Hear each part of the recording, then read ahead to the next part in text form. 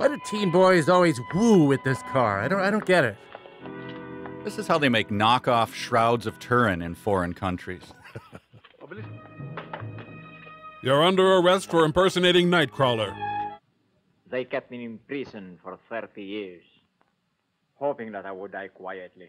But I just kept telling my backstory till they let me go. The Batmobile and the Ghostbusters car had a horrible baby. Since I happen to be in the neighborhood, I thought I'd look you up and have a little therapy session with you. Ah, You sort of a fat, ghostly back Frasier Crane. The guy from Harlem rents out the office down the hall. Yeah, he moved to Southeast Asia so that he'd be even more from Harlem.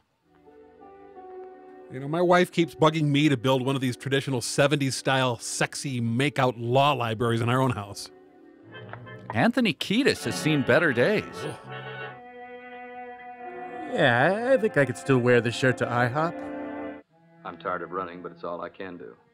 They can't kill me. I could walk down the road while they play that Hulk piano song. You really are sick, you know. Ah, my speech at my kids' first communions. Does he still find my eyes dead enough? Oh, they lost a killer, but they managed to smoke out 11 paintball teams. Ah, God, the agony. Why? Oh, why? oh, hey, Tony, carrying a crate? Hey, buddy, yeah, how's it going? Oh, you know, just making a little horror movie. oh, neat. Have fun with that. Thanks, man. Come on, come on. I'm late for the thriller video. Oh, by the way, Beast of the Yellow Night is how I describe the time I got super drunk and wet the bed at my mother in law's house.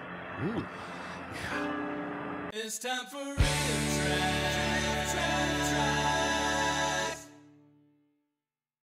To awaken the latent evil in the people that I come in contact with. Also, Oh. Comcast's mission I statement. knew you'd be sharp enough to.